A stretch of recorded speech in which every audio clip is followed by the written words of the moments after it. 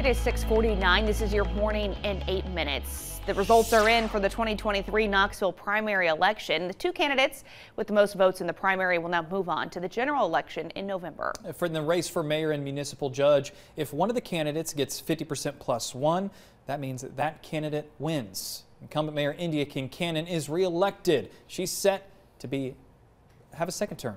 After getting 58% of the total votes, it is term limited to just two terms. This will be her second and final term. There are several other races in the Knoxville primary election, including three seats in Knoxville City Council. First is Knoxville City Council at large seat. Lynne Fugate and Cameron Brooks will move on.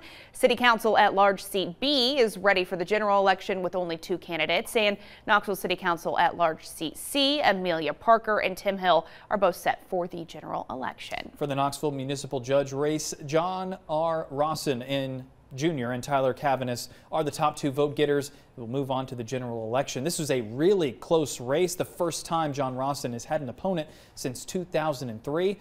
He's held the position for 35 years. Tyler Caviness trailing by just over 200 votes. Judge Rosson and Caviness will face off on November 7th. We have all the results for you right now inside your WVLT News app. Just look for election results.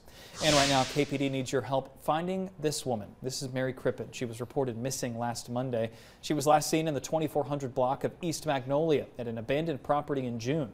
Her family last spoke with her in early July. Mary's 61 years old, 5 foot 7, 120 pounds with brown hair. If you know anything about where she may be, please call Crime Stoppers.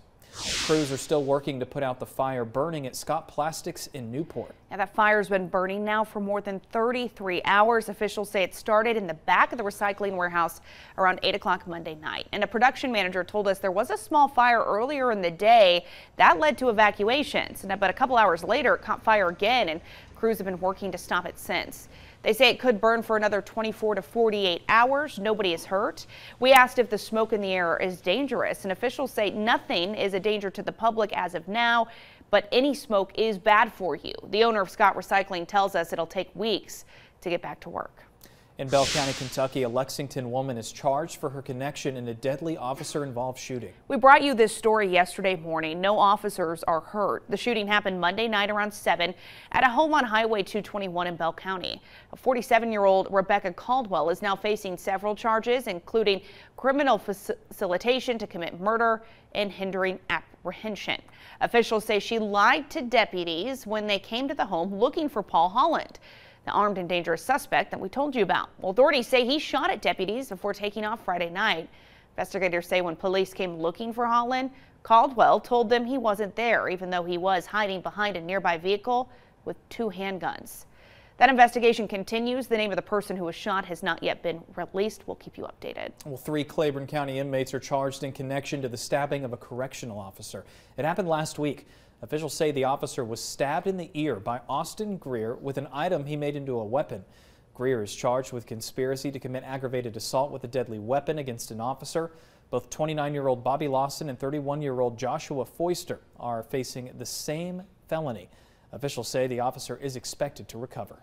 The state's special session on public safety is officially over. Lawmakers won't be back on Capitol Hill until January of next year. Chaos erupted yesterday morning after House Speaker Cameron Sexton, Sexton adjourned. House Republicans and Democrats say they felt like more could have been done. So here's what's happening now. Four bills. So we got four bills out of this session. They're now headed to the governor's desk. They provide more funding focused on public safety, including $30 million towards safety improvements at public Tennessee colleges and universities, $30 million to mental health services, and more than a million dollars for a campaign educating the public on gun locks. Well, right now, six people, including four children, are recovering after a multi-vehicle crash involving a school bus. This happened in Nashville yesterday morning. Metro police say the driver of this WeGo bus is seriously hurt after drifting into the wrong lane and hitting that school bus. Two SUVs were also part of the crash. The driver and passenger in one of them should be okay after being sent to the hospital. Ten children were on the school bus. Four are hurt, but the good news is they're expected to be okay. Hurricane Idalia is expected to make landfall in Florida this morning as a Category 4 hurricane. And millions of people who live near the state's Gulf Coast are bracing for the storm. Take a look at this live cam. This is in Steinhatchee. Forecasters say the storm could bring a potentially deadly storm surge. U.S. Coast Guard units and National Guard troops are prepared for search and rescue operations. We've been keeping an eye on some of these live cameras. You can barely see this yeah. morning as that storm gets closer. Now, thousands of electricity workers are also standing by to help restore power quickly after that hurricane passes. Several major airports in Florida are closed, including Tampa's. Medicare says it'll start negotiating prices on 10 drugs as part of its mandate to lower prescription prices for older Americans. The Biden administration says it chose the medications because they're some of the most expensive covered by the health insurance program for seniors over 65. It includes blood thinners and medications that treat conditions like diabetes, cancer, and heart disease. Negotiated prices won't take effect until 2026. It is 654. We do want to get a look at your first alert traffic with Whitney. Taking a live look now at I-40 right around 275 in Knoxville this morning. You can see that volume building on the westbound side of the interstate. We do have a couple of vehicles on that right-hand shoulder on the eastbound side. The good news is no lanes are blocked if you are headed that way. You are still beating the morning rush if you're just getting out the door. I-40, I-75, 640 all running on time. But heads up on Kingston Pike. There is going to be some road work starting up at 9 9 o'clock between Northview Street and Newcomb Avenue. This is going to impact the westbound lanes of Kingston Pike with some lane closures, so be mindful of crews and delays. Your first alert forecast with Chief Meteorologist Heather Haley.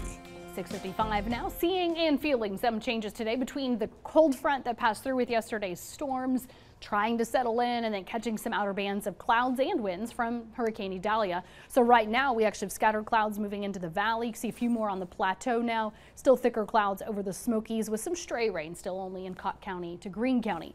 Now where you've had some more clearing, that's where you have some more fog between Cumberland and Fentress and Wayne to McCreary, Scott, Whitley to Knox County, Kentucky, also cooler.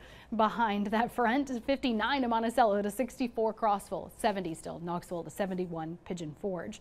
So we are seeing those extra clouds in and out of our area at times. I think some are a little more partly cloudy north and west to mostly cloudy, especially midday through the afternoon. That'll put us at 77 at noon with those extra winds and a high of 81 with lower humidity. So really the gusts pick up 15 to 20 miles per hour starting this morning, but really into the afternoon to evening they will continue. And that's because of that pull into Idalia, increasing those winds out of the northeast. But as I mentioned, the decrease is in the humidity. So that is also thanks to that front. So hopefully this at least puts a smile on your face. You may not be seeing as much sunshine today, but that is about to change. Tomorrow is the day that's all clear. That gives us that cooler morning. I'm looking forward to that part the next couple of days. So we'll talk more about that cool down ahead coming up on the CW. All right, Heather, thank you very much. We're also going to have live cameras of the communities, um, the impending impact of Hurricane Idalia in Florida coming up on the CW.